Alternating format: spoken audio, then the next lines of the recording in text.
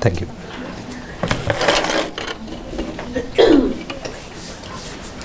Good evening. Thanks for coming. Uh, I know it's cold, it's uh, dark, and the, not the best time. Okay.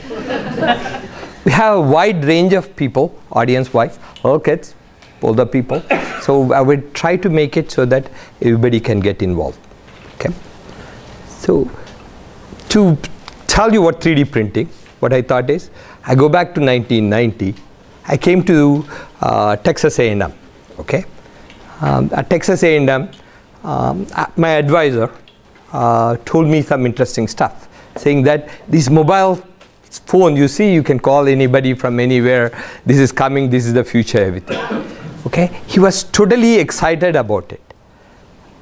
Okay. It took a decade for it to start percolating, and you see so many changes. Apps, you kids play our apps. Everybody has a phone, right? You have a phone you should talk to your mom. so it changed the way we live, the way we communicate, the way we do business. So what we were doing before, no longer applicable now. We don't have phone, phone number. We call people, we don't call places. Okay?